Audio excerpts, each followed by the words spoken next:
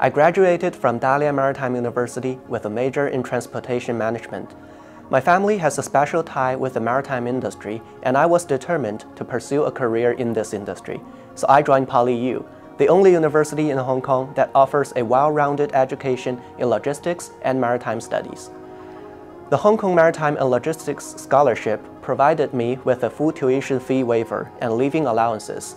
The well-structured ISTL program deepened my knowledge in shipping, logistics, finance, economics, and law. I'm now doing a PhD at PolyU and preparing myself for an academic career.